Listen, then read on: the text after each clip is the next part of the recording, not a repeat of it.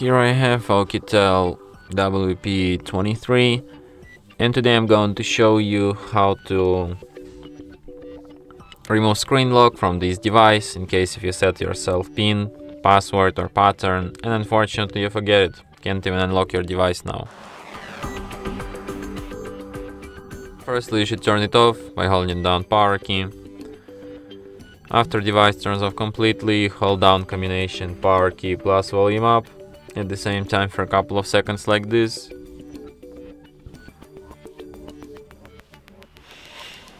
If it doesn't react, like release keys and hold down them once again.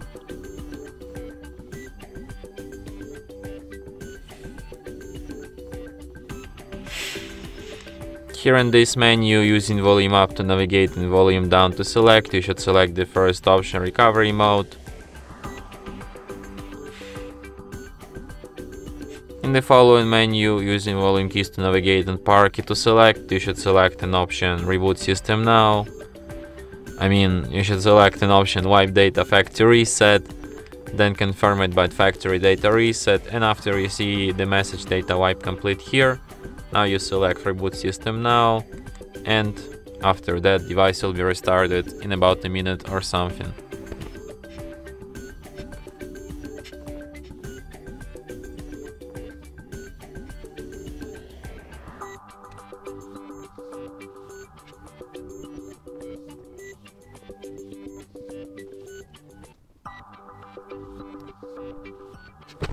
And that's it.